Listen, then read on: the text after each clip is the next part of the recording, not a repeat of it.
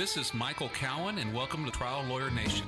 You are the leader in the courtroom, and you want the jury to be looking to you for the answers. When you figure out your theory, never deviate. You want the facts to be consistent, complete, and credible. The defense has no problem running out the clock. Delay is the friend of the defense. It's tough to grow a firm by trying to hold on and micromanage. You've got to front load a simple structure for jurors to be able to hold on to. What types of creative things can we do as lawyers, even though we don't have a trial setting? Whatever you've got to do to make it real, you've got to do to make it real. But the person who needs convincing is you. Welcome to the award winning podcast Trial Lawyer Nation, your source to win bigger verdicts, get more cases, and manage your law firm.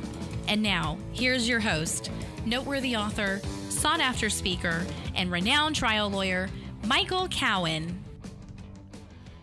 Welcome to today's Trial Lawyer Nation. Today we have a lawyer from Houston, Texas, Anthony Vessel. Anthony's with Marc Whitehead and Associates, where he's a partner, and he's going to talk to us a lot about how to manage a law firm because they have a heck of an operation going on over there. Anthony, how you doing today? Hey, doing good, Michael. How are you? I'm doing great. Before I dive in and start talking about your story, I just want to say thank you to our sponsor, LawPods. LawPods is the company that produces our podcast.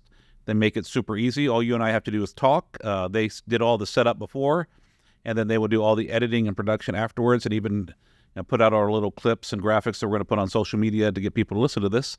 So if you're thinking about doing a podcast, I highly recommend LawPods. Now that I've paid the bills, let's go talk a little bit about you. So can you introduce yourself to us? Yeah, I'm Anthony Vessel. I'm a partner at Marc Whitehead and Associates, as you mentioned, Michael. I'm also a mediator, but I run our Social Security Disability section of our firm. Our I've been with Marc and this law firm for about uh, 12 years now, and um, this is this is what we do. We do disability law. We help Social Security disability claimants uh, get their their benefits. We help uh, veterans get their disability benefits, and workers get their disability insurance through those carriers. That's an important area of law, but that's got to be a challenging business to run because even more so than PI, I mean, you're going to have long waits to get paid, and then frankly, you know, your your fee per case is not. You don't have like your million dollar fees like you get PI. Yeah, and you hit the nail on the head, Michael. It's um, it's a high volume firm. We're very dependent on good team members, and that's honestly what I thought I could help bring to your listeners in this podcast today is the management side of law firms because I'm sure you've had tremendous trial I know you've had tremendous trial lawyers I've heard them on your podcast that can tell you how to win a trial and all the great things they do but my partner Marc often says you know there you can be a great lawyer but to run a law office takes a different type of skill set and a lot of great lawyers aren't necessarily great business people or law office managers and so that's where i think i can help out. That's absolutely true. I've had years where we've had lots of successes brought in lots of money but somehow there's none left for me at the end of the year. And uh, that's not any fun. I've been working real hard on being a, a, better owner and manager since then. I found that I used to think there was a conflict between being a good lawyer and a good manager, and now I'm, I've learned over the years that if you have a firm that's run well, then you're not always having to panic and deal with crises, and you can actually have the time to be a good lawyer. Yeah, absolutely agree with that.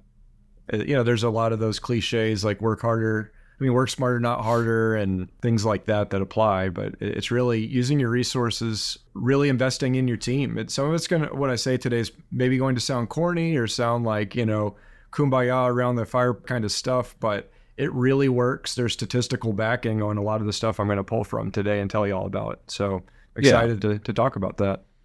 And I love y'all's operation. Actually, Marc's been on the podcast before. He's someone I respect a lot, and I'm, and I'm really looking forward to hearing from you and the, you know what you've learned about running that that firm. So let's. I want to talk a little bit just to put things in perspective, a little bit about the firm. So we know what kind of how, what kind of law you do, but how big are you? How many cases are y'all handling?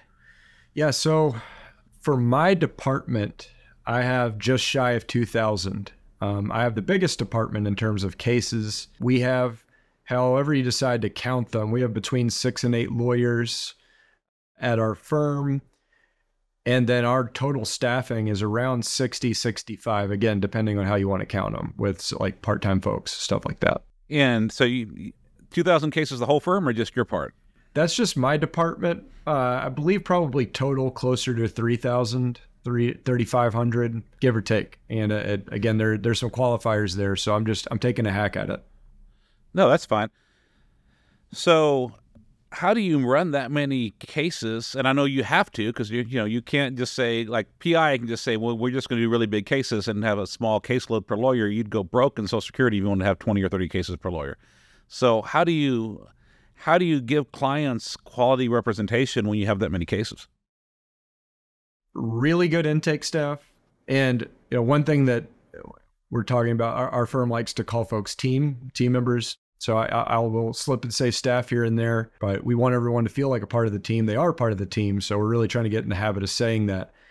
Creating a really good team, especially at intake, really really strict intake standards, uh, trainings and retrainings making sure everyone's on the same page of this is a good case. This is the type of case we can win. This is the type of case we can really help out with and we're enthusiastic to help out with and avoiding the stuff that we really, you know, that's not really in our wheelhouse that, that we don't think we can help out with. Um, avoiding those 80 20 clients. I'm sure you know what I'm talking about. Those yeah. guys that are, yeah. People that take up a disproportionate amount of your time and energy and give you very little in return. That's right. Yeah, that we all we all end up with something no matter how hard we try. I want to take a step back then, and you said that you know you've really worked. One of the keys to success has been working on intake to figure out that you're only taking the kind of cases where you can, that you want, that you can do some good on. How did you all figure out what does that case look like? A lot of it is uh, education and go. You know, we we really invest a lot in going to conferences. I go to a the NOSSCR conference, which is a national conference for Social Security representatives. And so you sit through some of those CLEs and you you start to learn like what are these cases, what are the percentage cases that are winning, and, and just your knowledge of the law leads you that way. You you look back at the cases that you win, and you're like, oh yeah, I keep winning these over 50. I mean, that's that's there are these certain set of rules. I don't want to go down a rabbit trail, but called the grid rules. And basically, if you're over 50, you have a favorable treatment by Social Security, and especially over 50 with a more physical uh, nature to your work. If you're doing air quotes blue collar work, um, people it's it's easier to prove that that person can't go back and do that job when they have a bad back or a bad shoulder or something like that, rather than trying to prove someone who can't can't do a desk job. That's a little bit harder to prove. Yeah. Yeah. And I guess that would be so important, you know, given that you're not going to be able to make that much per case. You would take a bunch of bad cases that could really kill your average fee per case. Yeah, it can. It can tank it. And, you know, it's about your time and effort that you're plugging into your cases. You want to put all your time and effort into cases that you know you can win and cases you know you can help folks out on because we're a good law firm. We do good work. And, you know, but we do have a finite amount of resources and, and manpower and time and money and so we want to help as many people as we can and um, so therefore we have to select those cases we know that we can help out on we know we can win and um, and i have referred uh, disability cases to your firm before just you know full disclosure but just so i can know what to send over i mean you, so you like blue, blue collar jobs physical jobs over 50 any other characteristics that make a better claim? Absolutely. And greatly appreciate it michael. Thank you. And uh, those are good cases for social security. For long-term disability insurance cases that that would be more towards again air quotes but white collar jobs. Your folks who are more professionals they generally have better policies and they generally have better access to medical treatment in, in most regards. And that's that's the body of evidence that we're pulling from. Almost 95% of your evidence is your medical treatment. So unfortunately and it's it's a broken it's a broken cycle in our country, and I'll, I'll I'll avoid going down that rabbit trail as well. But your access to medical care really is a is a big factor on your ability to obtain your disability benefits, either Social Security or disability insurance. Uh, we also represent veterans, and most veterans who qualify uh, would have access to TRICARE, have access to the VA medical treatment. So it's not as big of a factor for our vets because they generally can get access to medical care through the VA. But yeah, veterans and, and Marc often does this presentation, and we all have actually called Mike the Mechanic, where we have what's called a triple threat client, where it's someone who has access to all three a veteran who has access to Social Security disability benefits and also access to disability insurance benefits through their work or through uh, private uh, private access. So, and then you can make all three claims. That's right. All it's three different cases with the same client. Oh, that's great, especially like I said when you're dealing with a, a limited. What's the max fee in Social Security disability? They just raised it. Congress is very generous, and uh, it's seventy two hundred. And I say that sarcastically because it yeah. was set at six thousand uh, about twelve years ago. So they raised it hundred dollars per year. And so us, us Social Security representatives have been a little salty about it, but we are we're happy for the increase. And, you know, it, it does go towards the clients getting better representation. A lot of folks have had to shut down shop because they're just, the margins are so thin. Yeah. It's uh, 7,200 now. So, you know, intake's really important for all of us because even on the bigger cases, you can spend a lot of time and money on a case that turns out not to be so good. But I imagine that even once you get the case in, you need to be pretty efficient how do you make sure you're when you're handling that many cases that you know you're you're doing the things that need to be done, you're giving good customer service, and you're you know most importantly meeting all the deadlines? It's a few fold there. That's a loaded question, and uh, one aspect of it is how you organize your your team. So we've reorganized my team a few times, but how it's set up now, um, I've got them set up into pods. So we have intake. Intake does your sign up. They send you all the paperwork, give you the welcome packet, all that good stuff. Then it gets passed over to what I call Pod One on my team. Uh, pod One, they do the initial application, and then if that gets denied, uh, a reconsideration and a request for reconsideration. And so those are folks that are highly organized, that are great people, yeah. great on great on the phone, great with clients, and folks that have a high attention to detail. And then uh, this is assuming a denial all the way because it, that's the five step sequential process. And then it's also uh, five steps in the Social Security process, oddly enough. But um, after that reconsideration denial, uh, then you go to an ALJ hearing, administrative law judge hearing, and that's whenever an attorney accompanies the uh, claimant and argues the case before an administrative law judge. And so at that point, it goes to Pod Two. So Pod Two, um, they're my more analytical people. They help us dig through the file, find key pieces of evidence, follow up with the clients, make sure that we've requested all their medical evidence and set up all the the prep calls, all that good stuff with the attorney and the client.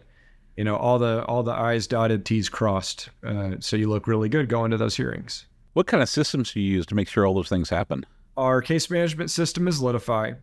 So that does a really good job of setting tasks. Litify's been good for such a high volume practice like ours. It's funny, Michael. Uh, I was listening to your your episode with Marc um, a few weeks ago, just uh, when you and I were talking about doing this episode, and and he was talking about how it's great for a high volume practice, perhaps maybe not ideal for someone with a smaller volume practice. Um, but we've had pretty good results with it. We like it, and uh, it's it's really customizable, and you're able to tailor it to your needs. And with it being cloud based, you know, everyone's got work from home type options at their firm these days. And so that makes it easier too. You don't have to have it loaded up on your laptop or anything like that. You can access it through the web. And do you have I guess besides the computer system, any systems in place where someone's double checking to make the sure that other people are actually doing the steps? Absolutely, and that that's the second part. So it's um, training and retraining. It's clear policies and procedures and part of what it's a culture really and that's that's something that's really changed the game for our our, our firm when i started here about 12 years ago we we didn't have a clear culture. We didn't have a great system in place for for onboarding employees and and getting them trained up and and that kind of thing you know. And then we started to work on that. We started to do a lot more well we call it now attorney book club where quarterly uh, all the attorneys at the firm are assigned a book. We have to read it and we have to give a presentation to the other attorneys at the firm. And so a lot of that goes to the culture we want to create within our firm. It's also right people right seats. That's pulled from traction gino wickman's book traction. Uh, he says right people right seats. You might have hired a dynamite person a really good candidate and then you find that that person's just not ideal in the spot that you put them in. I had a person on my team who was hired for our VA department, and she wasn't quite doing great there. She was kind of struggling, from what I understood. But then um, we offered her a move over to my team, and she's knocking it out of the park, doing a really great job. I, I hardly hear a complaint from clients from her, and I hear nothing but good things. Her tasks, you know, I've uh, Litify gives you access to different folks' task lists, so I can go through and check on my team, see how they're doing, task completion, timeliness, how long is their task list because it's a running total. She's killing it, doing a great job. So, right people, right seats. Well, I want to step back then to let's go back 12 years when you're so you're out of law school.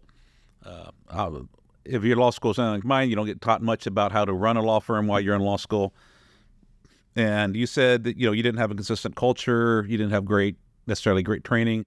What were the results of that? What what were the problems you you were seeing? Well, and it's a great question, Michael, because there's like this evolution when you're trying to develop this culture. And a lot of these books, they echo one another, or they're, you know, the Venn diagram, they're they share about 60%. Maybe they're just a little bit different uh, hanging off the side there. But a lot of them force you to be introspective. And so 12 years ago, I was like, man, I hired this lady and man, she just wasn't good. Or man, I hired this lady and she just, this guy, he couldn't get it done. And you, you've got to turn inward and say, what am I? Am I'm the one training everyone. I'm the one who's hiring yep. everyone. What's the common denominator? Yours truly. It's me. It's absolutely. Us. And so you've got to turn inward. And um, it's funny because we at the. It's not funny that we were having to to go through so many people, but Marc gave me the the dubious nickname Tony the Hatchet Man, which was because I had to fire so many people. I had so many people leave, and I hated that. I thought it was yeah not it's not fun. That's the worst day of my of my career was the first time I had to fire someone. And uh, so we said, what you know, what do we have to do to to change this stuff? And you know, part of what we're looking at were you know the culture of finding. One one thing we were doing wrong was we tried to find people that had a certain skill set that uh-huh did things exactly as we we would want them to do or have the training or, or you know uh, work history that we were looking for.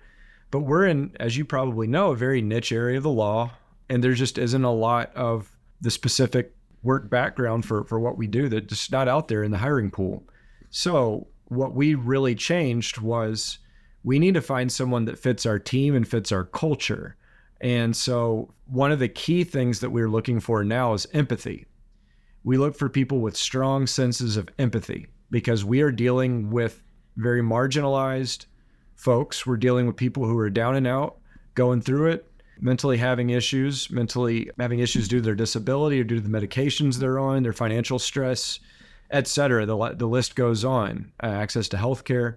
We have to find people that can deal with that and people that are not only can deal with it, want to deal with that. So that's one of our, our big areas of questioning when we're interviewing folks is do they have a deep sense of empathy? And that goes back to creating the culture that you want. We want to be around empathetic people. I don't want to be around people that make fun of my clients. That irritates me. Uh, that's yeah. not that's just not good for the culture. But we have people, and my my team's right out there, and I hear them on the phone all the time, and they're patient, they're empathetic people that and that that's that's one of the core values. And that and that's also part of what we do in our team meet. We have monthly all staff meetings where we repeat our core values every single time because we want everyone to know how very important they are. If you'd like me to to tell you them yeah i, I was about to, i was going to ask you i've got a yeah. couple questions there. Yeah so sure. first of all just because it's right there. Yeah, yeah. I also start every meeting with our purpose and our core values and our yeah. strategies for success. So what are your core values there at Mike Whitehead and Associates? Yeah, absolutely. Integrity, accountability, compassion, communication, teamwork, customer service, health and happiness in the workplace. And how did you come up with your core values? Marc and the other attorneys sat around in a meeting and, and thought about what was really important and we kind of chiseled out, you know, we had a list of a really long list and chiseled them down into the those those unique. I believe there are eight. yeah, yeah, a lot. Any any book or consultant or anything you use to on the core values exercise? Um, well, there are a lot of books that you know. There's uh, Patrick Lencioni's uh, Five Dysfunctions of a Team. Yeah, that- but Patrick only lets you have three core values if you read all his books. Well, that's why I was Patrick asking. yeah. He- But, I but mean, traction lets you have more. so That's that's right. That's right. And traction's a we're good gonna, one. I, I, I'm going to go talk a little bit about each of those books in a little more detail, so catch, catch up with the listener. But I was just wondering whether you just like you'd read a bunch of stuff and just came up with an exercise, or you're like following this kind of the script or the step by step process from one particular book. and you know, I I don't mean to give you a, a, contrived answer, but it, it's really what's important to you. You know, and, and you, yeah, they, these guys, they're brilliant. They're brilliant business uh, book writers, of course, but uh, you know, it all boils down to you at the end of the day. I mean, if if Mr. Lencioni says I can only have three, well, I, I'm running my own law firm. I'm going to have eight at my law firm because they're all eight very important to us. I will I will say for me, I know that each one, and you don't necessarily have to do them in this order, but different books have been an evolutionary process. Like if I hadn't read E- E Myth Revisited by Michael Gerber, I would have never thought to have written step by step procedures on how to do things. Yeah. Uh, if I if I hadn't read the Four Disciplines of Execution, I would have never learned how to get someone to do what is in my systems that were written down. If I hadn't read the Lencioni books, I wouldn't have known the importance of developing a, a team based on you know shared values and on vulnerability based trust, where we all can speak you know to each other clearly and have robust debate without it being an attack on each other. Uh, if I hadn't read Traction by Gino Wickman, I wouldn't have realized there's another level my business needs to get to, and that I can't get there alone. I need what's called an integrator. I need someone else that's good at running the business, so I can be the visionary and come up with the ideas. You know, just but you you kind of have to get to it at the right time in your career, if that makes any sense, and, and kind of build. That's you hit the nail on the head there, Michael, because it's you have to be open. And it, again, I'm going to say some kumbaya stuff today, I'm sure, but um, you have to have an open heart and an open mind to really absorb some of these key principles. I, I remember when we first started doing our, our attorney book club, as we call it. I was like, oh, great, Marc. Yeah, because I've just got this abundance of time to go home and read Yeah. yet another book. I don't have all these cases to take care of and all these other personal things. So our first few books, you know, I pouted and had my arms crossed, you know, but that's you don't gr- you don't grow that way. And so one of my favorite books that we read this year uh, was actually my colleague uh, Selena Valdez recommended was uh, Leaders Eat Last. Have you read that one, Michael? Okay, not yet. I'm going to add it to the. It's uh, add to the list. Tell me about that one. Yeah, yeah, and it's over on my my bookshelf over there. Simon Sinek. I hope I'm pronouncing his name Okay. correctly. Yeah, and yes, you are. He's. Uh, I know my chief galvanizing officer is really into Simon Sinek. So that book not only was it a good personal professional development book very very interesting uh, anecdotes to support the to support the principles have you ever read the and i'm going to go back to it i promise but the key negotiators book uh, never split the difference Care. I have it on my. It was given to me two weeks ago. Uh, I have it at home. I'm gonna fly to Paris on two days, and I'm gonna read it on the trip. I did hear uh, one of what was her name? One of the people that works for that company uh, that Yeah. publishes the book uh, was a keynote lecturer at a at an event I was in, and so I've heard a lot about the concepts in there. But So yeah, and I, you know, like I mentioned, I'm a mediator. I do a lot of mediations as an advocate for my clients. So this negotiation book was very interesting to me. But one of the reasons I really enjoyed this book was because the author, and I'm I'm blanking on his name, but he would give a very compelling, very interesting real life story and then tie it into the theme of that chapter, tie it into the lesson of that chapter. Well, Simon does the same thing in Leaders Eat Last. It starts off the very first chapter is a, a, a death-defying World War. Or I'm not sure which war actually, but a, a pilot mission where you know he's got like a you know a, a Top Gun kind of percentage chance. I I forget that most recent Top Gun movie, but he just keeps doing these sweeping raids, and his chance of being shot down is exponential. He's just really going all out for his team, but he's the leader. And that's that was kind of the takeaway from that chapter is you do what you have to do because you're the leader and you inspire your team by doing that. And that that one chapter is just one of many that are very very fascinating stories and anecdotes that support the lesson. Uh, but another one from that book was a guy walking into a into a factory where everything's backwards uh, in terms of employee culture and satis- workplace satisfaction. You have to punch out to go use the bathroom, you know, all these archaic kind of old school stuff. And he comes in and and tells the story of a guy walking in and be like, "Nope, that scrap that. Nope, you can eat lunch as long as you need to. You know, you don't oh, always punch out to go make a phone call. If you have a sick kid, you have to punch out to go call to whatever. All that stuff comes in, makes the place a more palatable place to work, and their production rates. He's a guy, he was a statistician, and all the production rates just shot up. All the Yeah. sati- employee satisfaction, employee retention, everything through the roof. And so, you know, I've I've worked, and I feel like I've gotten way far away from your question, Michael. So No, I'll, it's uh, great. I love it. Keep going. Okay. So I grew up in Beaumont, Texas. Uh, I'm the first lawyer in my family. I'm the first male in my family to ever go to college. Uh, as you can imagine, I've I've worked every single job you can imagine. Uh, Yeah. I've I've worked as a butcher's assistant. I've worked in a motorcycle warehouse. I've worked retail, delivery, all sorts of stuff before I went to college and law school. And um, I've thought about these different jobs and and different bosses more importantly that I've had over the years. And I'd invite the listeners, you know, right now, just pause for a moment and think of your favorite boss. Just think of your favorite or best boss of your opinion. Think of them. And then now name three qualities that you think make them the best boss that you've ever had. And now let's do let's flip that exercise on on its head. Think of the worst boss that you've ever had. Just take a few moments. Think of the worst boss that you've ever had. Now, same thing. Three qualities. What made them the worst boss?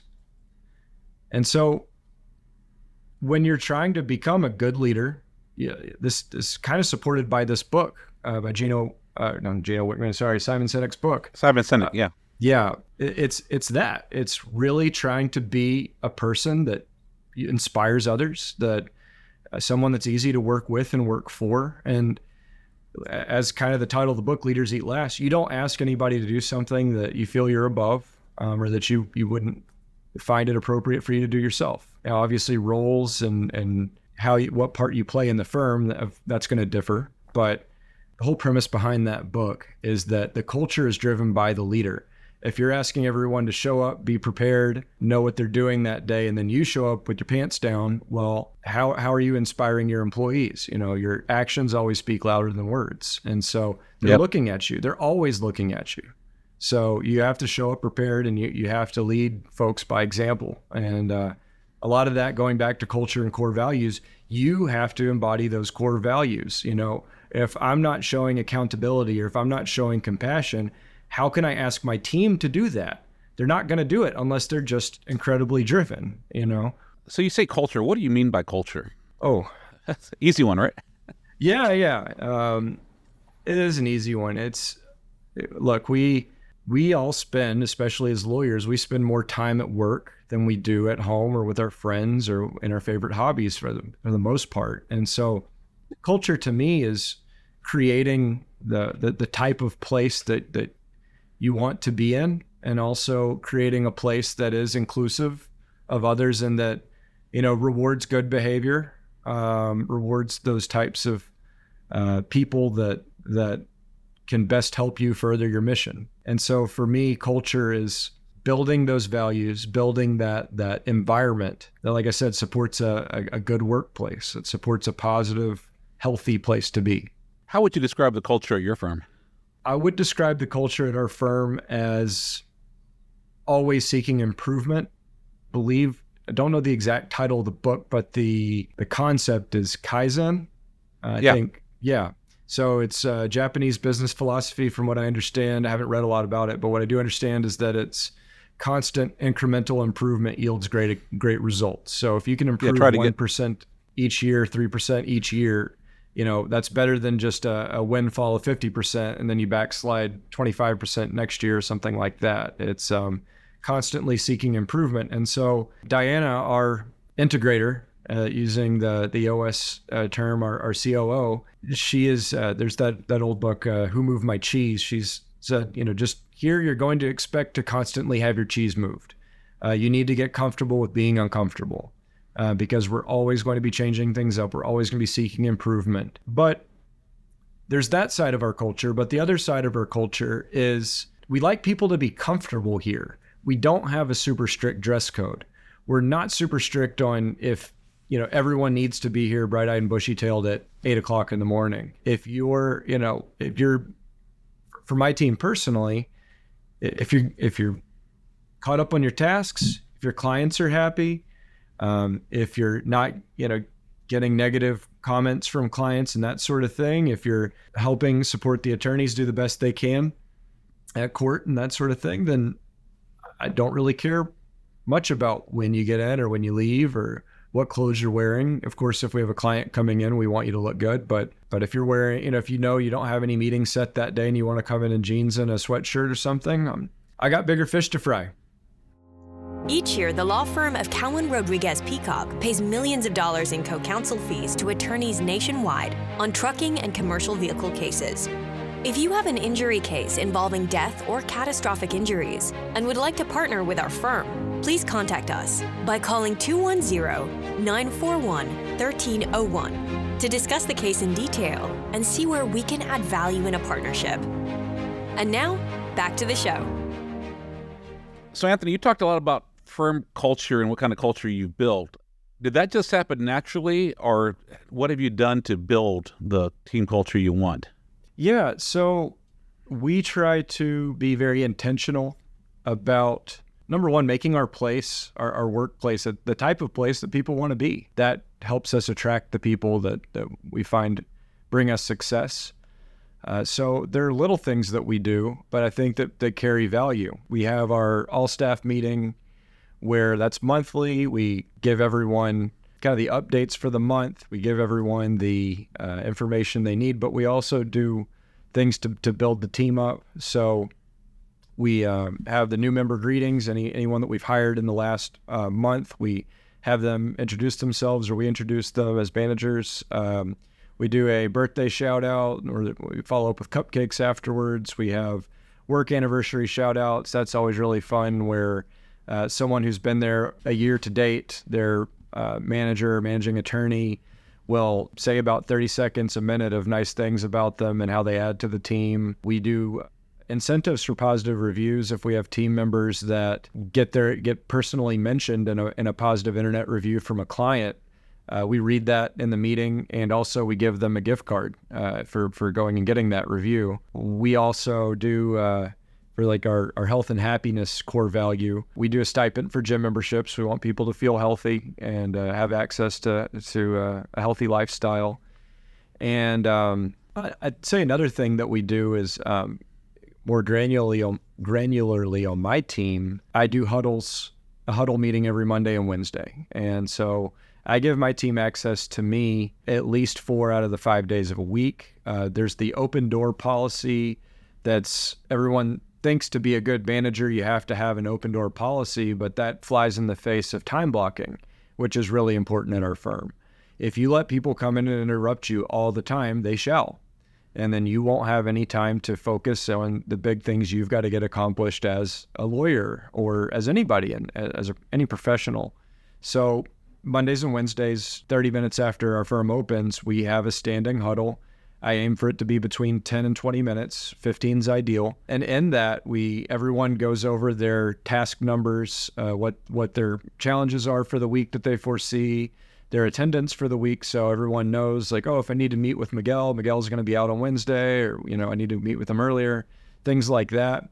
Um, and then if anyone has a specific problem that doesn't apply to the whole group then i'll hang back with them and we'll go over it together. Or someone else on the team that's experienced that issue before will hang back with them. So we don't have this this big you know group chat in the meeting. We can stay focused and, and move through all the stuff we've got to hit while not interrupting others. And then we also, I, I found that it's fun. We we add jokes. Um, everyone, uh, we always invite for anyone to, to tell a joke, but I've got Marc got me this corny dad joke book, uh, and so like to end the meeting with a joke. You know, it's it's it's Monday. Nobody wants to be there. It's cold outside. We had to go through an hour's worth of Houston traffic, so just to kind of jump off on a lighter note. And then I have a team member who does affirmations. He's got a little card deck of daily affirmations, and uh, so nice. he'll read that. But it's just it kind of breaks up the robotic nature that work meetings can have. And uh, we also do team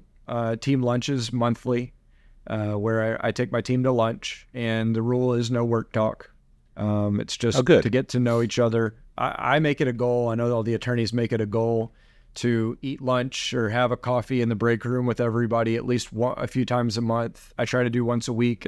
Calendar doesn't always allow for that, but we, we do our best. And then you were mentioning, uh, Michael, the four disciplines of execution, WIGs, uh, wildly important goals. So clearly published scoreboards and clearly published wildly important goals. So one or two of those per pod, you know. And I, I failed to yeah. mention earlier my medical records team. They're the backbone of our team. Uh, but in our pods, I've got pod one, pod two, intake, and medical records. But yeah, so everyone's got their own goals that that help contribute to the team. And then uh, your expectations and policies have to be clearly published. And uh, oh, I was talking about was talking about office hour, or I was talking about open door policy. My answer to that are these huddles, but then um, also on Tuesdays I've got an hour of office hours. So doors open. That's usually when I eat my lunch. If you've got an issue, you know, come on, come on in. You don't you don't even have to knock or anything. Just coming in. If you want to talk about the Astros, obviously I'm always thrilled to talk about the Astros or whatever you want to talk about. Uh, we can talk about work or not, but it's it's open door policy. And so I've had people come in and talk about personal problems. I've had people talk about their marriages yep. or kids or whatever, and it's it's fine. Hopefully next year we'll want to talk about the Aggies some more. Not yet.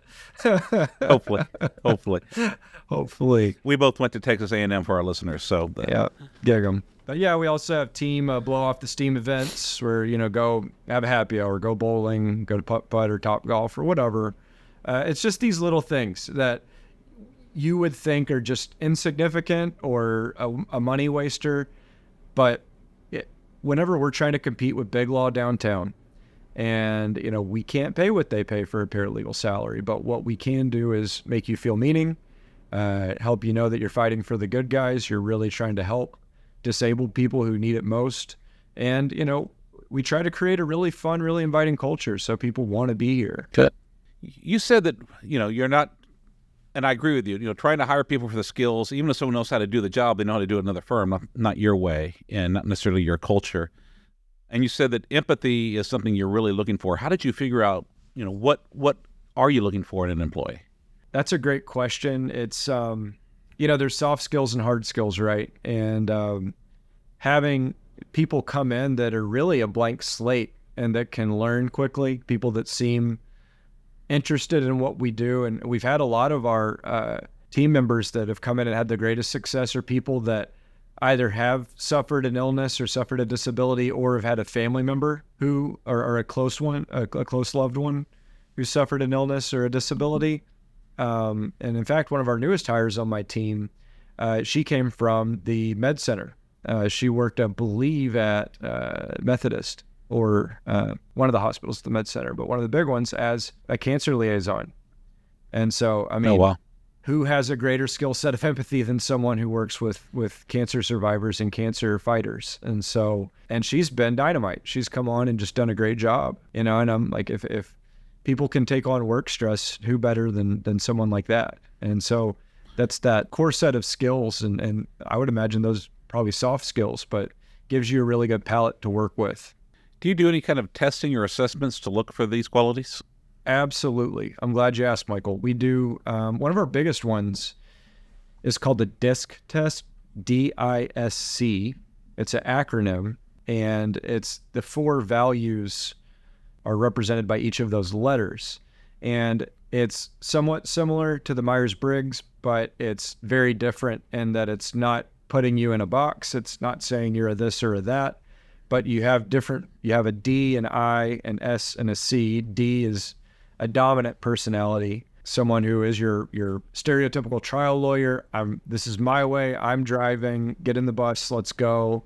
Um, usually, folks who like to take the reins and lead but you know each value has pluses and of course minuses so d's can be unyielding they can be a little bit difficult to work with they can be abrasive they can be a little maniacal sometimes if you want to say that but but they're also a great leader sometimes. They they're also really good at getting the job done. They'll stop at nothing to to get what you know to accomplish the goal. So you need people like that on a team. High eyes, that's that's me. A high eye is someone who uh, it stands for An eye is influential. influential. That's right. Sorry. And no, no, absolutely, yeah. And um, it's someone who likes working as a team. It's someone who likes working with people. If you chain me to a desk and have me write briefs all day, I might cry because I like to be around my team and work with others and uh, talk and network and that kind of thing. But there's a big problem to that. If I'm talking and networking all the time, I'm not getting work done, or I can distract others. I can go walk around the office and pull someone out of focus. So there's pluses and minuses to that. S is steady. So who can you count on? Who can you come in and, and accomplish the goal every day? You know, rain, sleet, or snow, who's going to be there? That's your high S people. And your high C, that's compliance. Those are your people, your rule followers, people that are very ordinal, follow procedures, stay on task, that sort of thing. Those people can be a little bit inflexible. That would be one of their negative qualities. But, you know, I, it's funny because on this disc test, I, am about one rung from the top of maxing out the I category. My my S is relatively high. The D category, I'm about in the middle, a little bit above middle, and then on the C, I'm about two rungs from the lowest you can get on that. So like, don't tell me what to do. I don't want to follow procedure. I just want to run free and do what I want to do and that sort of thing. And that gets me into trouble. You know, it's it can be difficult to fight through that. But one of the other main takeaways from this test is that it's not to say that that if you're a low I, you can't go out and network. It's saying it may take you more energy than someone Right. who is a natural high I. Like, in fact, there are people at our firm that are a lower I. People love them. They're great. They're great people, people. You know, um, they just, after a networking event, they're totally drained. Whereas I'm like, okay, we're next. What are we doing next? You know, because it didn't take any energy for me. Do you, do you only test new hires, or do you did you test your existing employees? We tested everyone. Everyone got tested because this helps us learn who works best with each other on the team. You know, it's not another great thing about this test is it's it's not a pass or fail. It's not a good or a bad. It's just a, are you a rectangle, a square, triangle? What are you? And you know what comes most naturally to you more so than what are you. It's it's what's easiest for you. I think it's really important to test your best people. Uh, one, because you get an idea of what kind of profiles you're looking for, but two, it gives you you know an idea of, of what tests are valid and what aren't. So there's one test I had someone here using in hiring, and I only wanted like Wonderlic has an intelligence part, and I wanted the intelligence part, but then they also give you whether someone is a good personality fit and is going to have good motivation to do the job. Yeah. And we had them test our best, most long-term employees, and they told us that these people would be horrible at the job. so uh, we we decided that this test was not valid, and you know the the intelligence part was the rest was not valid for our firm and what we were looking for. And maybe, you know, they were looking at you know paralegals in general or you know attorney medical records people in general, and not at what we were looking for.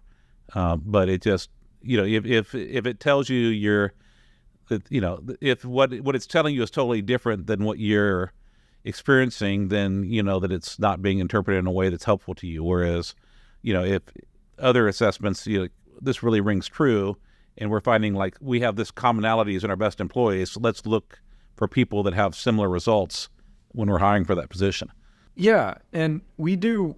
We have another test that we do. I don't think we do it for every single employee um, or potential employee, but it's uh, it, it's a test that is more of a pass or fail. It does tell you if someone's going through. It gives you yeah. There's potential risks and then there's potential. I forget the positive qualities and but they're all rated by three. It's like a situational risk, a conditional risk, or a high risk or something like that. And so it's like this person will not show up to work. They just absolutely won't. Or this person's having a difficulty in their personal life right now. Well, yeah, if they're looking for a job, perhaps they just got fired. You know that that that will show up on the test too. So that test I take with a grain of salt. We, you know, if you which one which one is that so I'm not naming it is that because the jay henderson that, okay, yeah. So I couldn't. re- I, I like jay henderson Okay, I, have used okay. him before I like Jay as a person. I, I've spent a lot of time on Yeah. the phone with Jay. I think he's a great guy.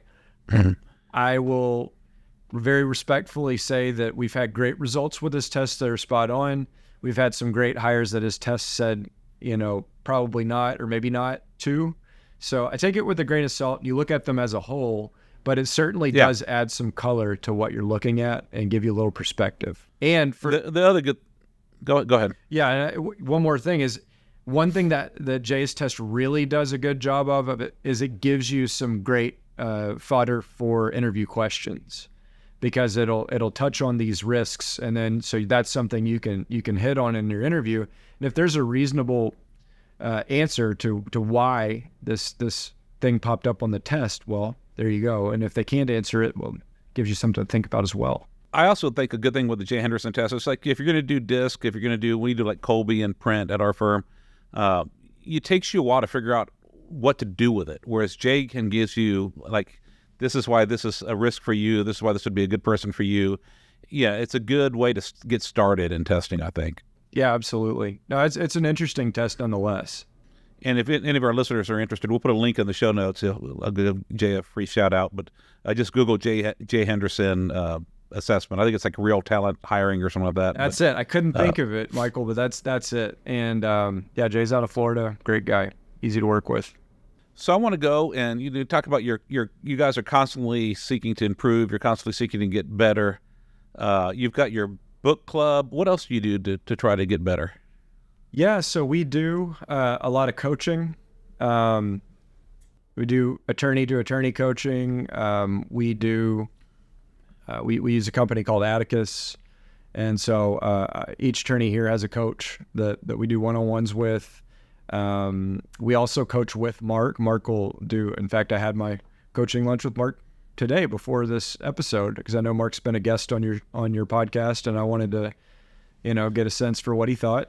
And uh, he he says hello, and um, Yeah, no, I love Marc. yeah, and but we also I was I did a I was late today because I was doing a coaching lunch with one of my employees, one of my lawyers' son. is that Atticus coaching, or with one of your No, employees? no, I just it was just our own, our own. We call them attorney development meetings, but it's similar. Same thing, yeah. We like attorney coaching, something like that. But then also our key admins, we have a, a coaching group for them as well. And you know, a good a good quote from Leaders Eat Last was the more we give of ourselves to see others succeed, the greater our value to the group and the more respect they offer us. You know, and that's kind of the essence of that book. But it's you know, you've got to you've got to give your time, you've got to invest your time to to to grow people into what you what you need and what what will help the Yep. group. And so that's where we're coming from. And uh, our our firm also we're really big in some of our legal organizations. You know, at the at the city, state, and national level, HTLA, TTLA, AAJ, uh, American Association for Justice, and you know each one of our attorneys has gone through the TTLA lead group, and in fact the applications open up in January. So look out for that on the TTLA website. But that's been a great thing because it it it teaches uh, leadership, empathy, accountability, and development. That's the acronym, and so it's a lot of that that stuff Michael of coming into the new generation of people where we're, you know, we we want to be welcoming and inclusive. We we we Yeah. want to hire people that are different from us. Um, you know, the practice of law. Uh, there are a lot of guys that look like us 50 years ago, 25 years ago, and things really have changed and, and good for the good. You know, it's good to have so much diversity in the law now in our industry and in who we hire and it just gives you such a, a diversity of perspective and it, it helps drive that empathy and it helps make the workplace more inclusive and, and all that kind of stuff that i'm sure folks are thinking you know kumbaya campfire stuff again but reading these books it, it works. This stuff really works. Yep. it's important. And not only is it important it's just the right thing to do. It's just it's just good to have people that you know it doesn't matter what they look like or how they identify. It's like can you do the job and can you do it well? That's all that should Yep. matter when you're hiring. And so if you when people get past that and really see that there's so much talent out there you're you're opening yourself up to such a great hiring pool of people and so all this inclusive stuff it's it's in leaders eat last it's in no ego by cy wakeman it's it's in I love that book. yeah, I mean, I, I'm looking at the my microphone's sitting on a stack of books. That's what I'm looking at right now, and and you know, it's it's in these books. It's statistically backed. It's right. It's just straight up Yeah. right.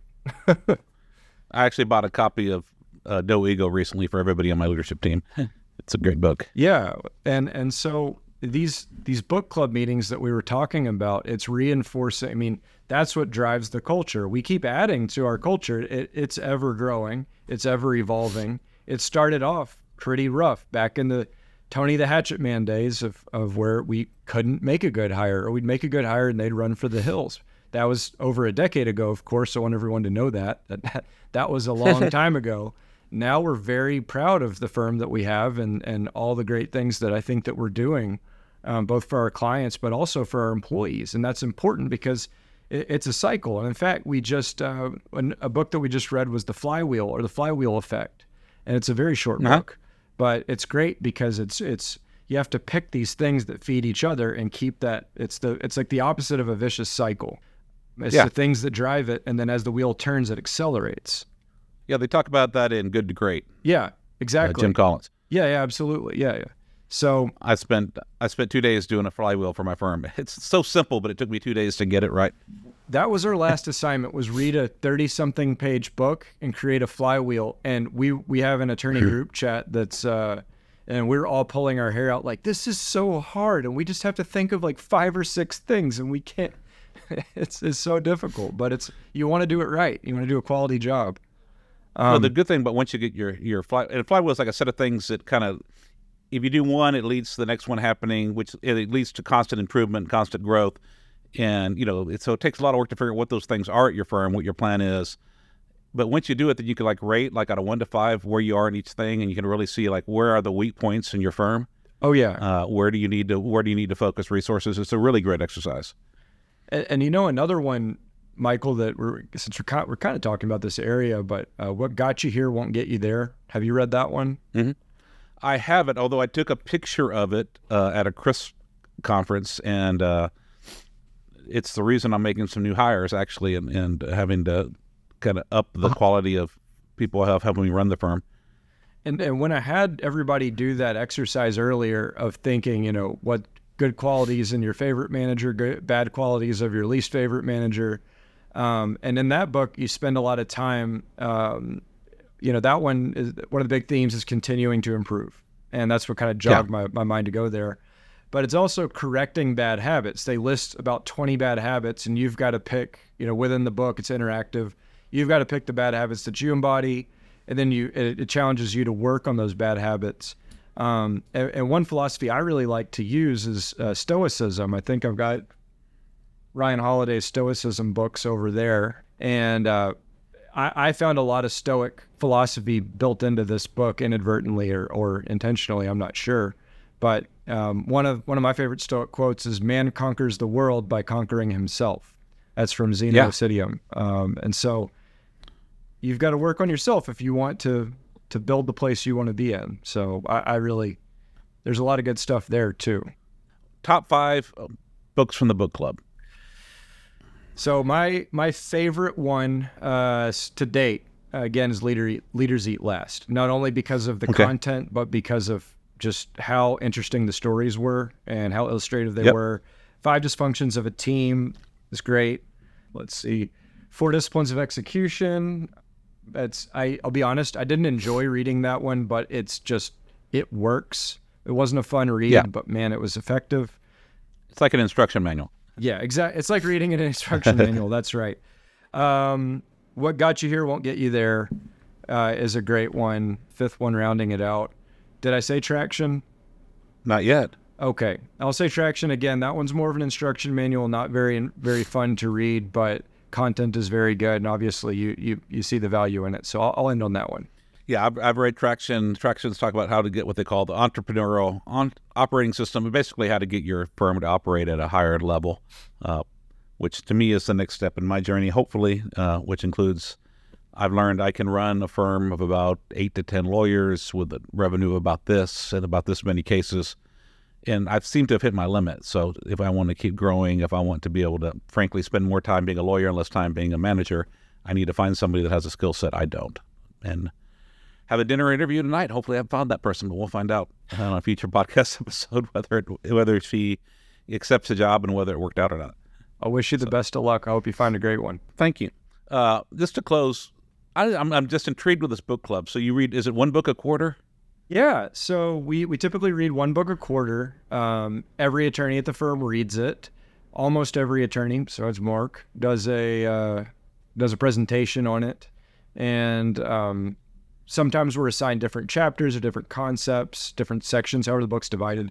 But it, or um, if it's a book like Traction, where it's applying a um, a concept that to to a business well we treat our own separate department as as a standalone business. And so we present as if for me like the social security disability section i treat it as a standalone business and i present that way.